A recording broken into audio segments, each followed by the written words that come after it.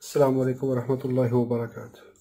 When we see a LED bulb, LED lamp, and we tear it down, we find cover that is installed in the front side, a housing that is connected here, and between this we find this LED panel. And behind LED panel we see LED driver it is unisolated LED driver and in the rear side we see a connector for line and neutral. One wire from the line it is connected here and the second line neutral that is connected here. Here we have a bridge rectifier a capacitor.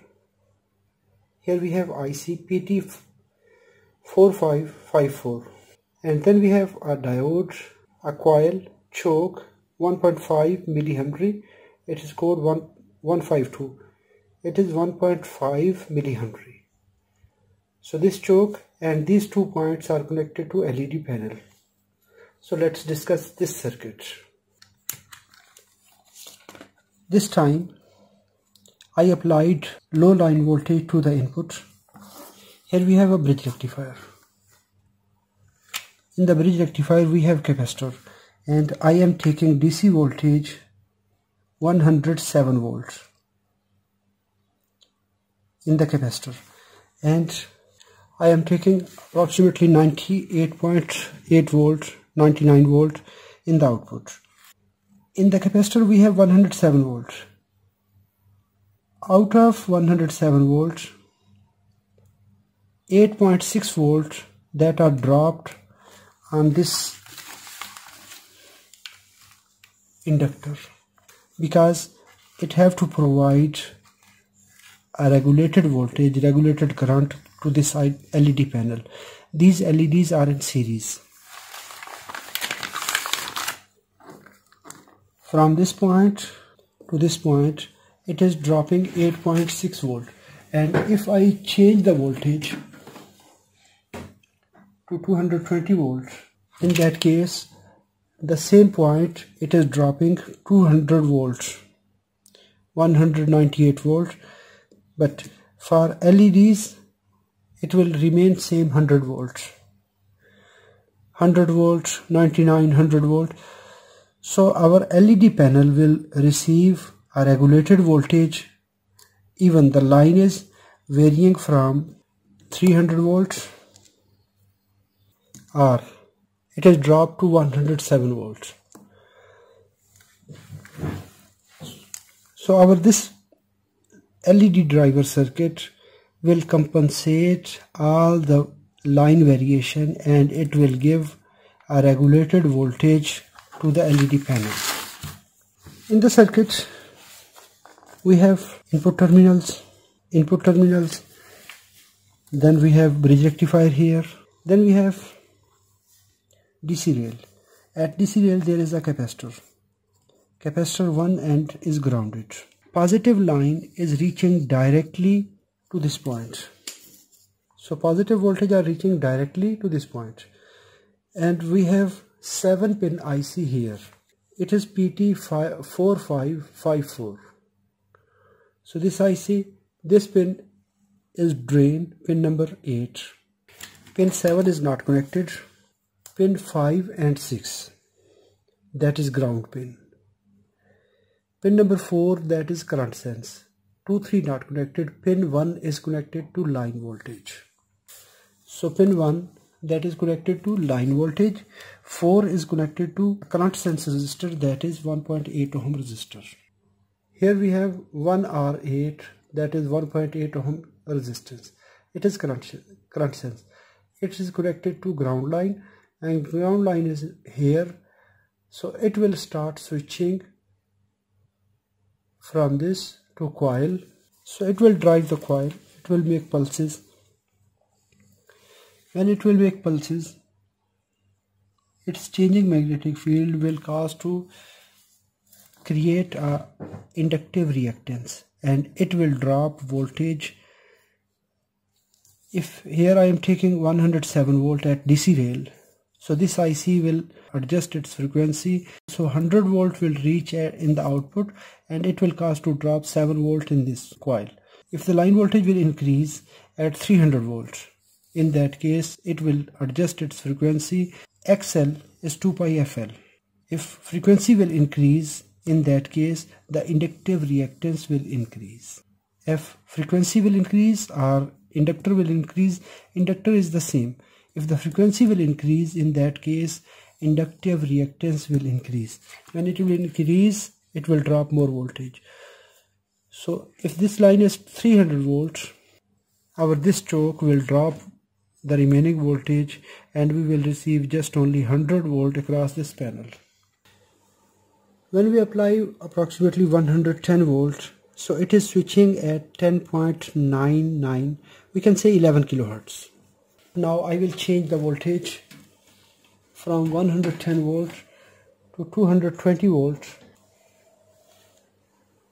Now the IC change its frequency at 189 we can say 190 kilohertz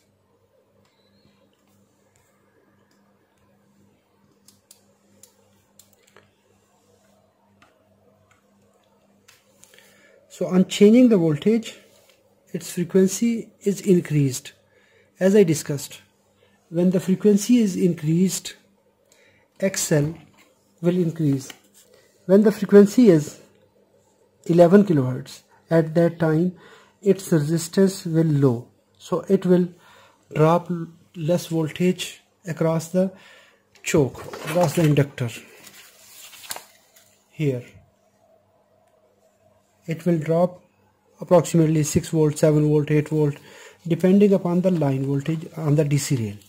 When the voltage will increase it will increase its switching frequency though, so that if the frequency will increase the inductive reactance that is the AC resistance of a choke for an inductor so of a coil. So its XL will increase. So XL is equal to resistance. R is equal to XL resistor is in DC and XL the resistance and AC circuit.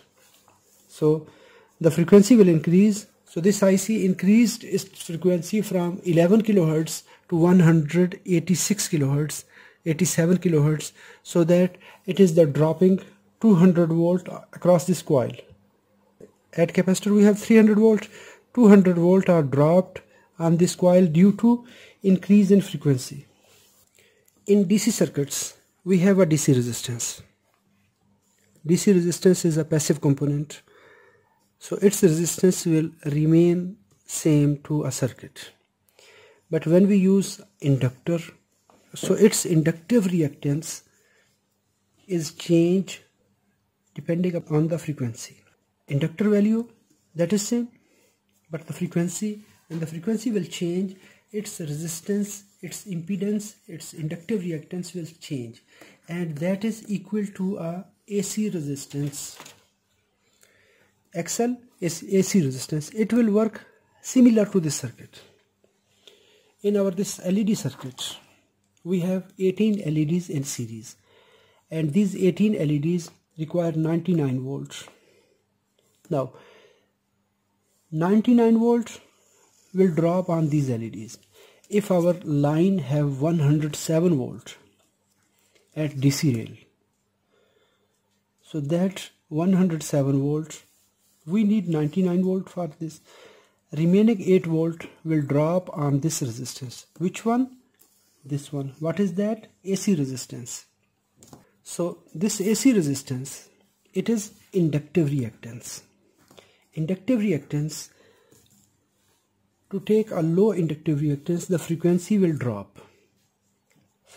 XL inductive reactance will depend on the frequency and inductance. Now the line voltage are increased. It reached at 300 volt. So now we need 99 or we can say 100 volt here.